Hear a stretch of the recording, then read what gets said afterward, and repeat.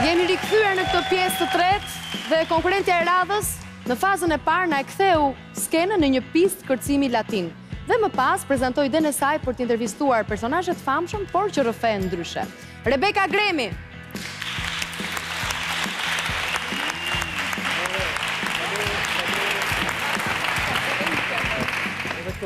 Përshëndetje.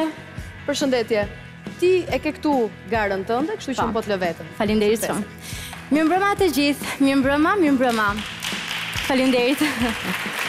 Personazhi i cili është i ftuar sot në emision është një personazh jo pak, por mjaft i njohur për publikun shqiptar. Është një artiste e cila ka nisur të interpretojë dhe të performojë që e vogël, që në moshë të vogël, dhe sot është një ndër artistet më të mira shqiptare. Në vitin 2018, ajo ka mbajtur uh, koncertin e saj recital, ku doli mjaft i suksesshëm dhe kohët e fundit ka nxjerrë në treg disa këngë të reja që në kohë mjaft të shkurtër janë bërë tmerrësisht tepër të njohura. Prandaj me një duartrokitje të fort, Dua të ftoj Anxhela Peristerin!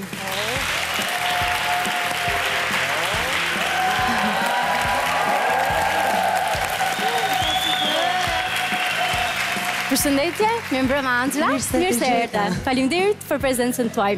Kënaqësi. Por, Përpara se unë të nis intervistën me Anxhela Peristerin, do doja që të bënim një nisje ndryshe të emisionit dhe prandaj doja që të ftoja Anxhelën në një performancë të sajën me këngën e saj më të re, Maraz.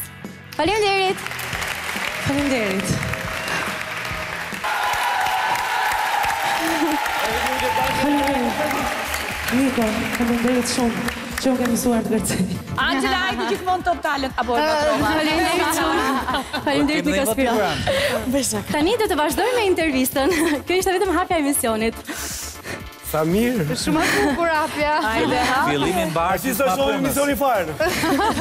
Tashi ne presim pyetjen. Okej, vazhdo. Anxhela? Shpesh kemi dëgjuar të flitet për karrierën tënde, sepse je një artiste mjaft e suksesshme, por ajo ku do doja të ndalesha sot është pjesa e jetës private. Prandaj do doja fillimisht që pyetja të linde të të niste me lindjen tënde. Cili është, cila është data, minuta dhe ora ku Anxhela ka lindur? U, kjo është ai që shkon te ka lindur. Këtë do ta them sepse është bërë dhe objekt bisede kohët e fundit. Kam lindur në datën 24 mars të vitit 1986. Pra je 16 vjeç. Në orën 18:00 pasdite. Faleminderit, ja ku shkruat një përreshtje. Themi 86 a je ti? Po. Emo. E di që në internet qarkullojnë disa datëlindje tuat Prandaj e thashë po. Dhe bëre shumë mirë se s'ke faj 16 vjeç ashtu lindë ngrinë Ashtu Anxhela ne dimë se ju keni lindur në Korçë Më pas jeni zhvendosur në Tiranë dhe në Greqi Sa vite keni ndenjur ju në secilin nga vendet që neve përmendëm? Atëherë, deri në moshën 14 vjeçe kam jetuar në qytetin tim të lindjes në Korçë. Që nga mosha 14 deri në 19 vjeç kam qenë në Tiranë dhe pastaj 20 me 27 në Greqi. Pra një pjesë shumë e madhe ke ndenjur në Greqi. Bukur. Doja të pyesja, jam shumë kurioze në fakt, kur ka qenë momenti i parë që ju keni keni kuptuar ose keni keni marrë vesh se keni zë për muzikë ose si si ka lindur kjo pjesa e muzikës? Në çfarë moshe ju keni filluar të këndoni? Më kanë futur në shkollë muzike që në moshën 6 vjeç, un kam studiuar për violinë. Dhe shkollën e mesme kam kryer në Liceun Artistik në Tiranë për kanto. Kështu që do të thoja që kam filluar të këndoj që 6 vjeç dhe vazhdoj deri tani që jam 33. Pra një jetë të tërë, një jetë të tërë. Uh, cili ka qenë Anxhela vendi i parë ku ju keni performuar për herë të parë? Cila ka qenë ajo skenë? që juve keni dalë. Atëherë ka qenë skena e teatrit Zako Çajupi në qytetin e Korçës, ka qenë një festival fëmijësh ku unë këndoja këngë për Zotin. Dhe aty ka qenë hera e parë që kam performuar, kam qenë kam spikatur. 12 vjeç, 11, 12 vjeçe nuk e mbaj mend. E kuptoj, faleminderit. Atëherë është një pyetje, ju shpesh nuk flisni për jetën tuaj private, në fakt? Po, nuk flas asnjëherë faktikisht. Po, por pyetja ime nuk është nëse ka dikë apo jo aktualisht në jetën tuaj, por a do të na e thoni juve se cili ka qenë emri i djalit për të cilin ju ka rrahur zemra për herë të parë ose ose në mos të themi emrin, a mund të më përmendni inicialet? Të të shuajmë një kureshtje të vogël. Atëherë, kjo pyetje dhe këto lloj pyetjesh më janë bërë shumë shpesh, por nuk jam përgjigjur ndonjëherë, kështu që edhe sot nuk do bëj përjashtim. Okej, okay, gjithsesi mbetet pjesë e privatësisë, kështu që nuk nuk po ngurojmë. Në rregull, faleminderit shumë Anxhela, ishte një kënaqësi shumë e madhe që të kisha në studio. Një kënaqësi e madhe, të uroj suksese dhe në karrierë. Faleminderit.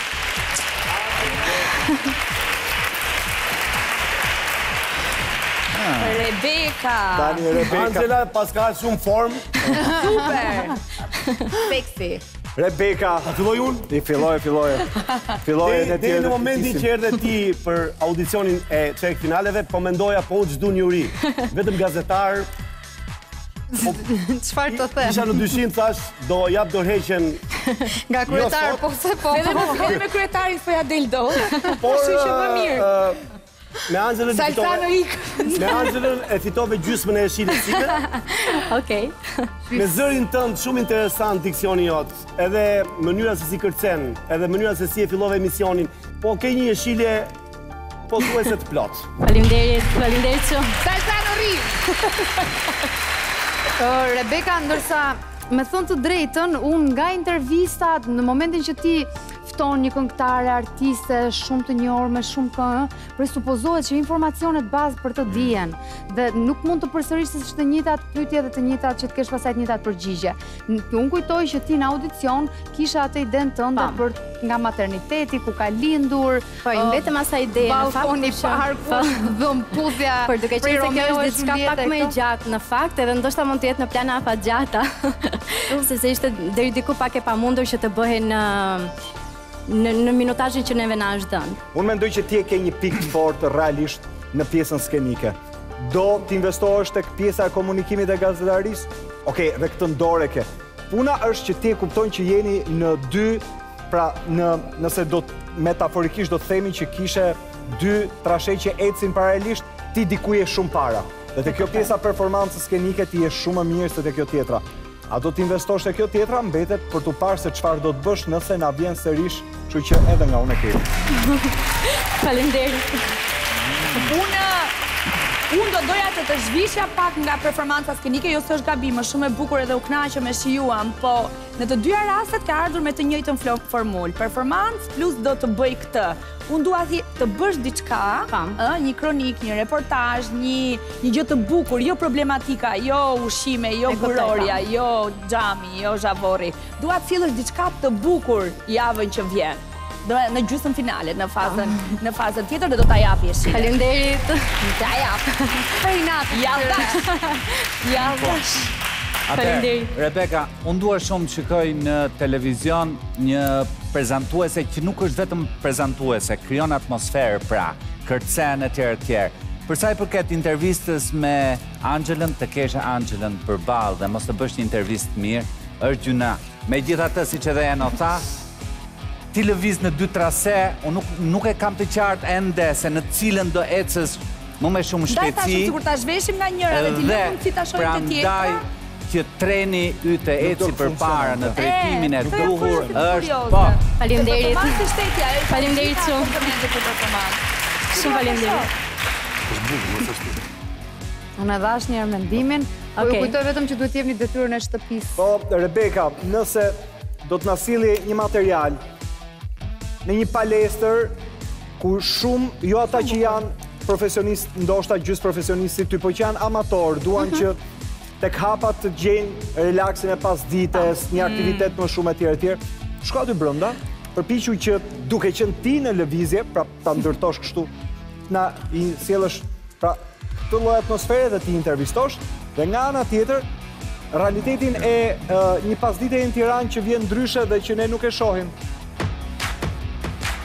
Rebeka, pse mendon se Bjeta mbeti e kuqe? Nuk e di, ndoshta duhet të kisha vënë pak më shumë nga çdo as, duhet ta kisha bindur që ta fitoja dhe jeshilën e saj. Mendon që do ia marrësh jeshilën në fazën tjetër? Patjetër që po.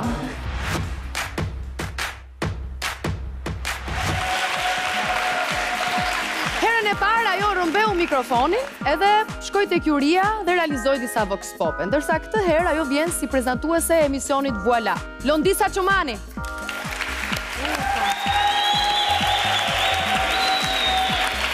Ke emocionet që po mban barkun me dorë? Jo, e kam këshu, ves. E ke ves? Ja, oke. Jemi oke. Hiqe, tani po. Patjetër. Përshëndetje. Ku e shikon veten më mirë, tek Vox Popet apo tek prezantimi i emisioneve? I provova të dyja dhe në fakt u ndjeva mjaft e sigurt dhe për këtë jam jam shumë e lumtur, por do mundohem të eksperimentoj sa më shumë në mënyrë që të gjej atë gjë që të më ngjisë sa më shumë edhe të them ok këtu do qëndroj, këtu jam mirë. Mendon që do t'ia rrëmbesh jeshilen Salsanos se herën e parë nuk votoi ai. Shohim, nuk e di mbetet për të parë. Okej, okay, suksese. Faleminderit.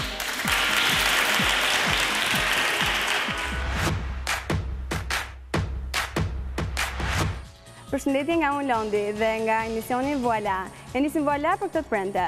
Këngëtarja e njohur Cardi B ka anulluar koncertin e saj për shkak të problemeve shëndetësore. Këngëtarja po përjeton disa ndërlikime për shkak të ndërhyrjeve kirurgjikale që ka pasur kohët e fundit në të pasme dhe gjoks. Mjekët e kanë këshilluar që të qëndrojë në shtëpi, pasi trupi ka nevojë të pushojë. Gjimnastja ish-fituesja e medaljes së artë olimpike, Alina Kabaeva, ka kohë që thuhet se është partnerja sekrete e Vladimir Putinit. Për këtë çështje nuk ka patur konfirmim nga fituesja e medaljes olimpike dhe Kremlini asnjëherë nuk e diskuton jetën private të presidentit. Një burim i afërt me tridhjetë e gjashtë vjeçaren Kabaeva, e cila thuhet se ka lidhje me Putinin, Tha se nuk i komentojnë thashethemet. Aktorja e njohur amerikane Jada Pinkett Smith ka rrëfyer publikisht varësinë që kishte para disa vitesh me pornografinë. Ajo vendosi që të fliste për këtë gjë në emisionin e saj, Red Table Talk, duke shpjeguar se fatmirësisht ka marrë fund. Jada ka plot njëzet e dy vite që shijon martesën me Will Smith, por gjatë adoleshencës ndihej e zbrazët për sa i përket lidhjeve emocionale dhe zgjidhjen e gjente pikërisht tek pornografia.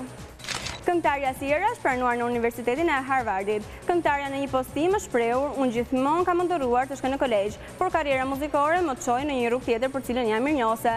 Këtë javë u pranova në Harvard. Fjalët nuk mund t'i përshkruajnë emocionet e mia, është shprehur ajo.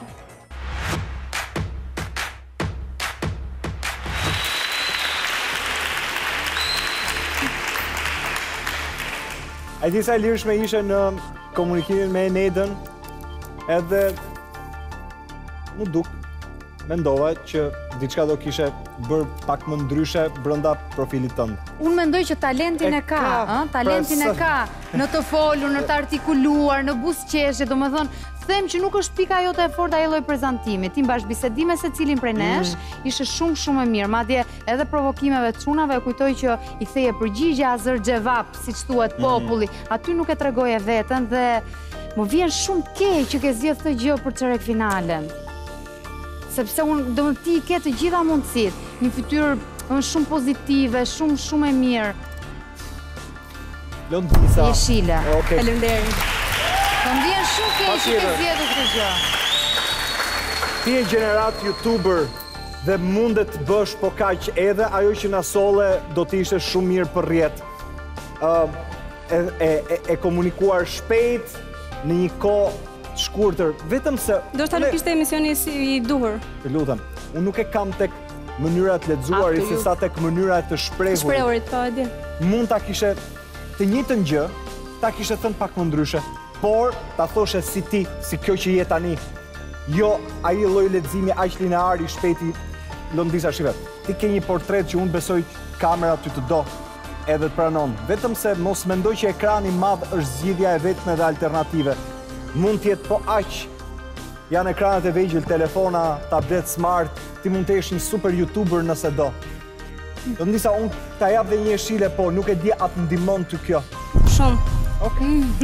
Faleminderit.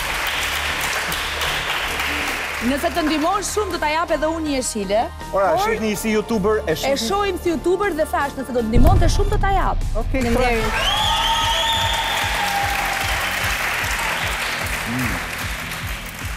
Okay. Tani juve doni të dilni të nderuar nga kjo histori, apo çfarë? Londisa, sa vjeçe je? 18. Ok, është afë shumë fantastike, është shumë afër moshës tënde, është komunikim si zhanër që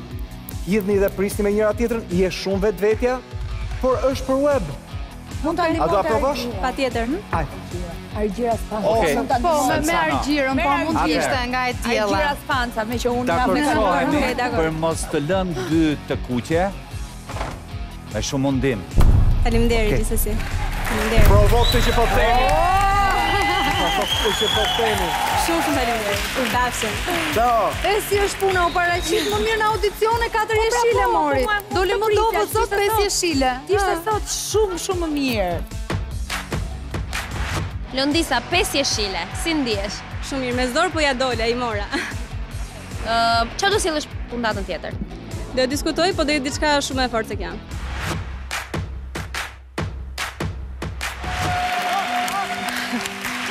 Sikur na mori malli për Xhesin, unë them të lidhemi një herë, shikojmë çfarë bëhet andej. Xhesi, përshëndetje. Përshëndetje. Përshëndetje. Përshëndetje. Ç'bëhet andej nga prapaskena? Këtu nuk është Xhesi, po jam unë, Xhesika tjetër, konkurrentja e radhës. Faleminderit që u vetë prezantove. Në fakt, po, është e vërtetë, është konkurrentja e radhës, e cila do të përdori prapaskenën për të prezantuar emisionin e saj. Po ju lë në shoqërinë e saj. Faleminderit.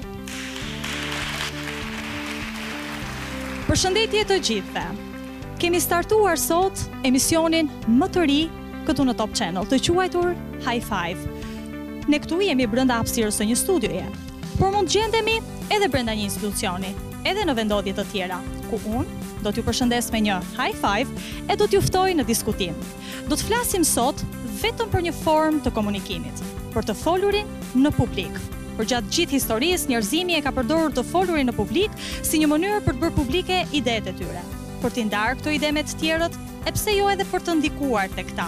Sot me mua janë tri nxënës, Erti Poka, High five Erti, Ani Hysenaj dhe Andri Peka, të cilët nuk janë këtu rastësisht, por sepse kanë qenë kanë performuar përpara publikut nëpër organizime dhe evente të ndryshme. Andaj unë do të marr pak nga eksperienca e tyre në këtë formë të rëndësishme komunikimi, por së cilës edhe i ndro, e, kemi ndrojtje nga pak, apo jo i friksohemi nga pak.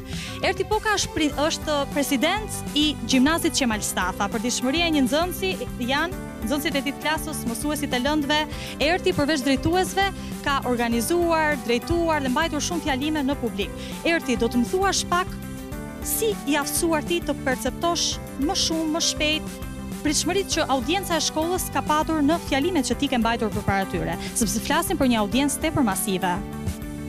Në fakt unë do të thoja se është eksperienca ajo që ndikon, në folurën në publik, Gjithmonë individët me eksperiencë arrijnë që të zhvillohen edhe më shumë.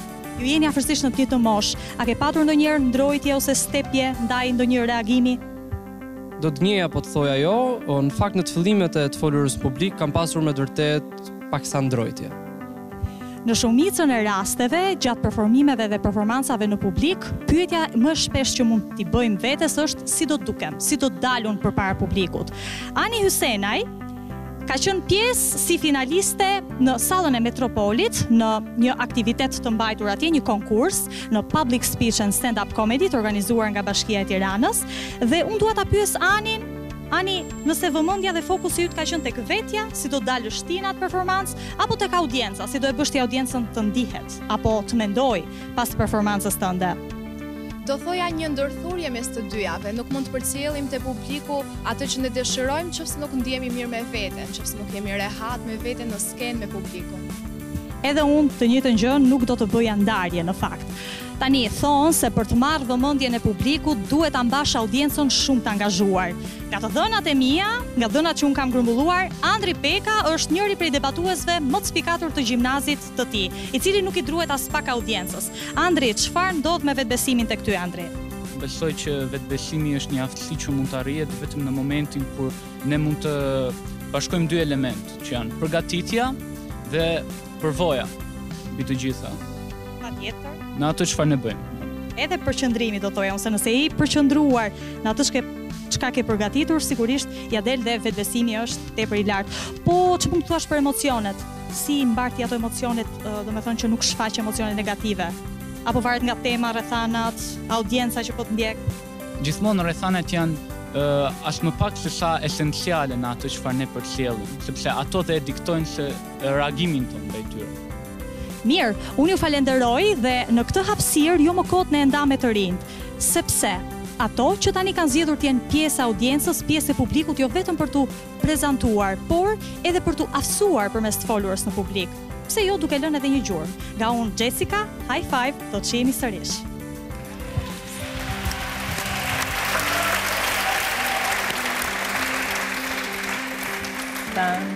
Po vjen Jessica. Ndërkohë që vjen e pra Jessica, unë mendoj që Jessica duhet të jetë një mësuese shumë e mirë, e pëlqyer nga nxënësit, por për ekranin Okej. Jessi!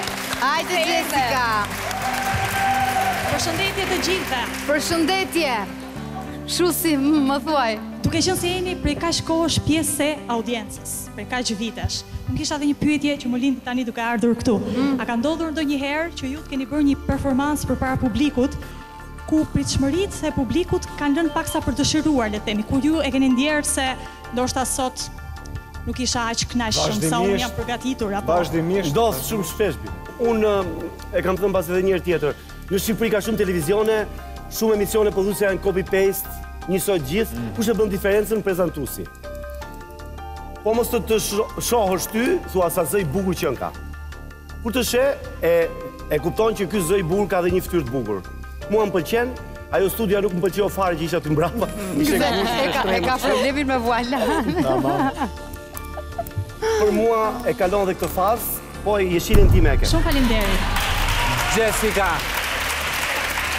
Edhe unë do votoj pro për misionin, po jo për atë çfarë ti solle sot. Për të dhënë një shans për ta provuar përsëri veten dhe një herë tjetër. Faleminderit, shumë faleminderit. Unë kam përshtypjen që ty të duhet pak më shumë kohë dhe jo, jo vetëm një periudhë e shkurtër një javore apo dy javore, ty të duhet shumë kohë. A do të kisha dhënë një mundësi, po patjetër, në Top Talent 3 rikthehet prapë vitin tjetër, po unë mendoj që do të duhet më shumë kohë për të bërë një gjë që Ti e di vetë çka kërkon nga vetja.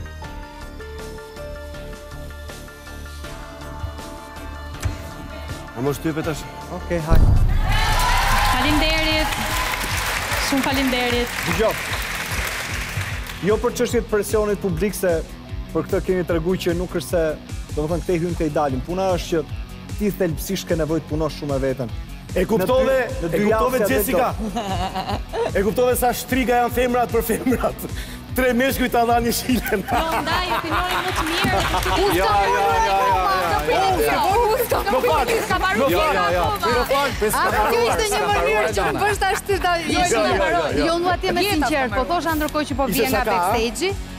Po thosha që je... Më shumë shtrigë.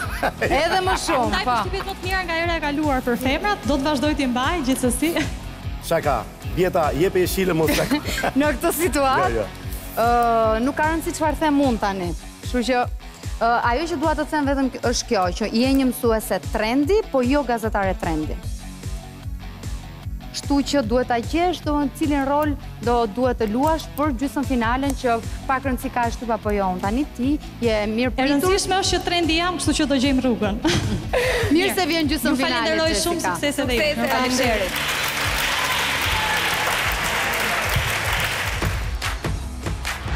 Jessica, një grua në karrierë të tha Meti. E ke menduar se kush do jetë personazhi? Më erdhi që tani emri faktikisht, por nuk do lë pa shqyrtuar mirë edhe propozimin e Salsanos, kështu që do të ulem shtruar qetë ta mendoj.